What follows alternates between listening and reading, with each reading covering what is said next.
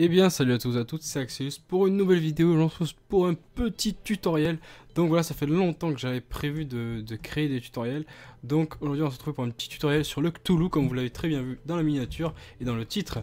Du coup, euh, comment battre le Cthulhu? Donc c'est très simple, je me suis créé un petit personnage tout nouveau pour vous expliquer ça. Donc euh, Juste avant la vidéo, ben, j'ai créé des appartements, donc comme ça, ça montre un petit aussi un petit tutoriel pour comment faire des appartements basiques. voilà, vous faites des blocs, puis vous les empilez, et les PNJ vont petit à petit, au fur et à mesure de votre aventure, venir. Donc, comment le battre? Euh, C'est très simple.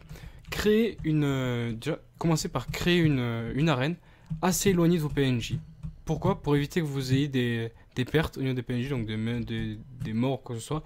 Bien que ça soit. enfin, que les PNJ peuvent revenir, je vous déconseille de, les, faire, de les faire mourir parce qu'en fait, ça peut vous être utile au fur et à mesure si vous continuez à, à jouer et euh, ça peut bloquer entre guillemets votre, la continuité. Bref, pour le battre, pour, enfin, déjà, pour créer l'item pour l'invoquer, le boss, il vous faudra 6 lentilles. Euh, après, une fois que vous avez les silentis, pas besoin d'aller se mettre sur la table de craft. Vous allez directement sur un hôtel démoniaque. Donc, hôtel démoniaque qui se trouve euh, généralement sur euh, ben, dans le biome. alors, je vois. Donc, dans le biome qui est agressif. Donc, normalement, le biome, selon si vous êtes en crimson ou en ou en corruption, ça va, ça va varier. Donc voilà. Donc, vous allez sur des petits hôtels, les petits hôtels démoniaques. Normalement, vous savez tout ce que c'est. Vous allez dessus et ça vous coûtera normalement si enfin, 6 lentilles pour obtenir cet objet qui est un Suspicious Looking Eye, qui est un euh, item pour invoquer l'œil du Toulouse. Voilà. Donc euh, ces lentilles là, on les farme sur les petits, les petits yeux qui ont vraiment cette tête là, donc euh, ceux, qui, ceux qui apparaissent la nuit, pour ceux qui n'ont toujours pas, qui ont besoin de précision. Donc voilà, à ce niveau là pour l'invoquer, c'est minimum. Ensuite pour l'arène, je vous conseille du coup de la créer un peu loin.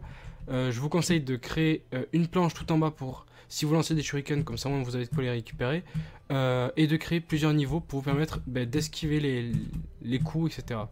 Donc voilà. À ce niveau-là de, l'arène, euh, après mettre des torches pour illuminer si vous faites, ben, du coup vous allez combattre la nuit, donc ça va être plus simple avec un peu d'éclairage. Mettre des feux de camp, parce ça permet d'augmenter la régénération de vie. Ensuite, euh, je vous conseille au niveau du stuff, donc euh, là, c'est vraiment le minimum syndical. C'est, on peut pas vraiment faire plus bas, à part si vous baladez, ouais. Enfin, c'est pas, pas possible que c'est plus bas, mais que ce soit plus bas. Néanmoins, euh, il y a un moyen plus rapide que, le, que de farmer du bois. Quoique non, je sais pas. C'est plus rapide de farmer du bois que de farmer du cactus. Bref, tout dépend de l'endroit là où vous êtes. Mais cette armure là, vous pouvez l'avoir aussi en cactus. Et c'est tout aussi bien. Oups, j'ai tapé sur le filtre anti-pop. Du coup, voilà, ça c'est minimum syndical pour vaincre le boss. Donc euh, normalement avec ce kit là, donc c'est vraiment des choses que vous pouvez farmer, mais dès la première nuit, euh, vous pouvez l'invoquer. Euh, après, généralement, au, cours de votre aventure, vous allez tomber sur, un stuff afin de le battre bien plus performant. Vous aurez bien plus de facilité. Donc voilà.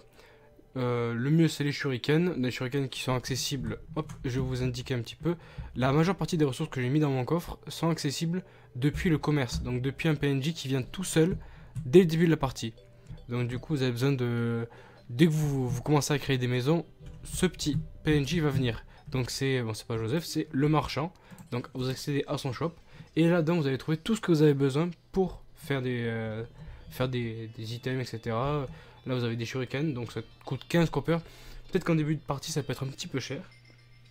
Néanmoins, euh, je conseille quand même de, bah, de, de, farmer un petit peu l'argent si vous avez vraiment des petits problèmes. Euh, après les shurikens, Néanmoins, on peut quand même en avoir dans des pots. Et puis, il n'en faut pas 999. J'en ai pris 999 pour l'exemple. Mais il n'en faut pas forcément 999. De toute façon, vous allez le voir dans la vidéo. Donc voilà. Euh, prendre des potions si possible dans les pots, etc. Se balader un petit peu. Donc voilà. Donc euh, là, vraiment, ce que je vous montre là, c'est le minimum syndical. Donc voilà. J'espère avoir été, assez précis. Donc euh, même pour faire les flèches, la petite recette, c'est du bois et des pierres. Et après, pour faire des flèches en feu, c'est du bois, de la pierre et euh, euh, des, torches. Donc voilà, ça c'est la petite recette, euh, c'est cadeau, c'est moi qui offre. Donc voilà, des potions, et voilà, le million syndical pour le battre. Bon mais voilà, et bien tout ce qui reste à faire c'est le battre, et pour ceci ben, je vais vous laisser le temps que la nuit arrive, et tout simplement je vais vous reprendre pour le battre. Allez, à tout de suite. C'est parti, allons-y, allons-y. On va tester, besoin de la map avec le shuriken. Comme ceci, hop. On esquive tranquillement. Avec des shurikens aussi. Clac, on va un petit peu l'enflammer. C'est plus facile de faire avec les shurikens parce qu'en fait ils arrivent à tuer les petits, les petits yeux qui sont avec lui. Néanmoins l'arc est plutôt fort parce qu'en fait il enflamme. Et ça, ça c'est une particularité très cool. Si on a un minimum précis, ça peut être sympa. Hop, on varie un peu les, goûts et les couleurs. Donc voilà, donc pour l'instant la technique est très basique. Néanmoins, quand il va commencer à être méchant, ça va être un peu plus compliqué. Donc là pour l'instant c'est on court. Donc après comme je dit, le fait d'installer un système en bois euh, en bas, ben, simplement c'est c'est plus pas rassurant, mais bon c'est pas c'est plus simple. Voilà, donc là vous avez vu que j'ai pris un petit coup, mais bon pour pas besoin de prendre de potions, c'est pas non plus euh, oppressant, donc je suis pas non plus ah, en fait, j'ai peut-être un peu mal dosé mon, mon mes mouvements. après, il y a un système, de, un système aussi à prendre. Parce que, à savoir que, hop, le boss est pas bien dur, hein, c'est juste. Voilà, faut attendre que la vie remonte. Hein.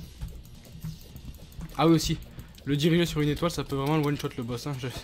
Ça aurait pu être sympa de le faire en vidéo, mais bon, malheureusement, c'est pas bien tombé. Enfin, l'étoile est mal tombée, j'ai envie de dire. Donc gardez vos potions, c'est préférable de les garder pour le mode euh, méchant. Et ce qui est bien aussi avec les shurikens, c'est qu'en fait, ça, ça permet en fait de le, bah, de l'artiller pendant qu'il est en mode méchant entre guillemets. Ah, bientôt l'être en plus. Hop là. Voilà, ça va être un peu plus compliqué. Néanmoins, il prend plus de coups quand il est en mode euh, méchant. Donc voilà, hop, clac clac. Mais ces, tous ces coups sont vraiment très facilement esquivables. Hein, comme j'ai déjà dit précédemment. C'est vraiment un boss qui est, une fois qu'on connaît un peu les, les, manips, il est relativement simple. Donc voilà. Là pour l'instant il m'a touché deux fois, mais c'était des, petites erreurs de ma part. Euh, vraiment des tours de riz. Hop, j'ai pas trop tiré avec l'arc. Hop. Je varie un peu les... Voilà, des petites flèches enflammées, c'est sympa ça. Normalement il risque d'accélérer le coup. Ah non, il accélère pas le coup parce qu'on n'est pas en mode euh, expert, c'est vrai. Donc du coup, clac, les petites flèches enflammées, ça fait pas plaisir pour le boss. On va pouvoir que pas trop touché.